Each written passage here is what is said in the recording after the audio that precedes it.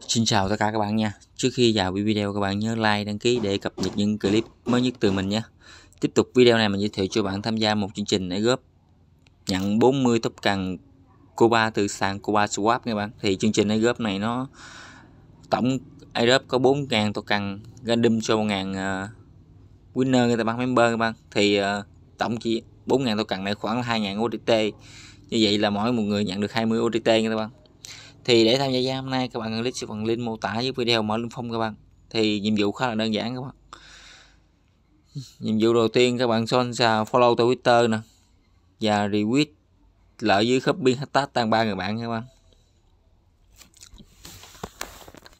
Trên twitter thì các bạn theo dõi nè. Sau khi các bạn nhận tôi cần này xong thì các bạn có thể còn một ngày nữa các bạn có thể swap trên sàn ờ, của ba swap các bạn. Đây thì ờ, uh, các bạn. Để mình copy cái ờ, cái tách và tan ba các bạn các bạn. Rồi cái sàn này ờ, gắn hỗn an các bạn rồi các bạn tự quyết đây các bạn.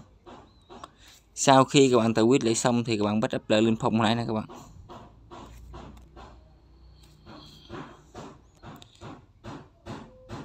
Rồi tiếp tục thì các bạn join tiếp kênh telegram channel nữa nè channel nữa nè.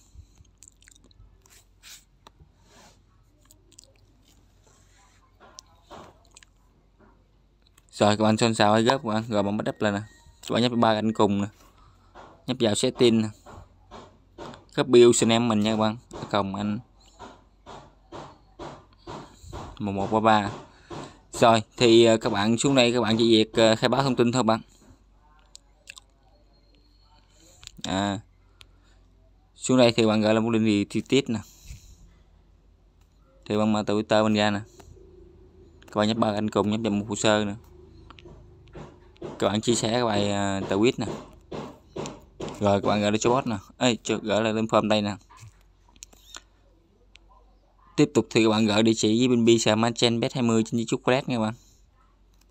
Rồi bạn sao chép đây nè. Rồi bạn gửi cho bot nè. Ấy cho, lên form nè. Rồi pha pha các bạn.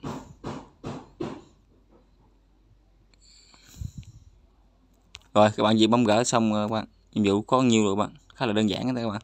Ok, vậy video mình đã hướng dẫn các bạn tham gia chương trình để góp nhận 40 tóc cần Cuba đến đây kết thúc các bạn. Vậy mình trần để các bạn. Hẹn tất cả các bạn vào những video clip tiếp theo từ mình nhé.